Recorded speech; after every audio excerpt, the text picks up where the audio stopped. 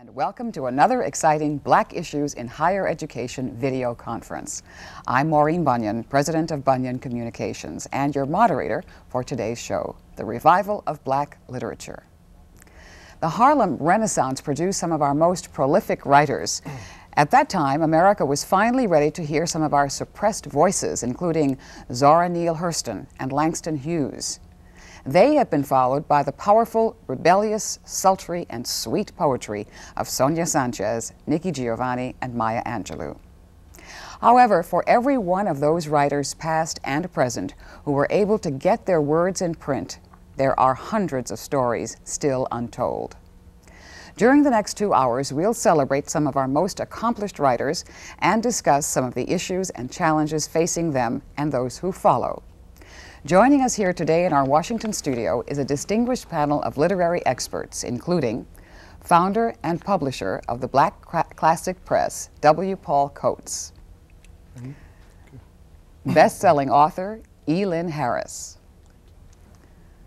Sandra Kitt, author of the popular black romance novels, one of my favorites, Dr. Eugenia Collier, essayist and former chair of the Department of English and Language Arts at Morgan State University, and author of Breeder and Other Stories. Welcome, Dr. Collier. Thank you.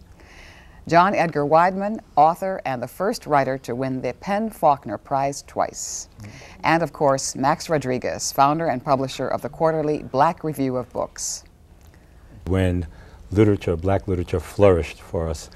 Uh, but I always like to put it into context. It seems to me that when there is a cultural. Um, what I'm wondering about is, is the acceptance of the white structure, is that absolutely necessary? Is that what caused the Harlem Renaissance? Because I think we've missed, we've hinted at it, but we missed a very important dimension, and that is uh, the Harlem Renaissance was not about choosing white audience or black audience. It was a, it was a period in which there was a tremendous uh, self-assertion those quotes because I remember we are uh, in Washington and uh, Sterling Brown, who made his home for so long in Washington, used to refer to the Harlem Renaissance. When you said Harlem Renaissance, he would say, what Renaissance?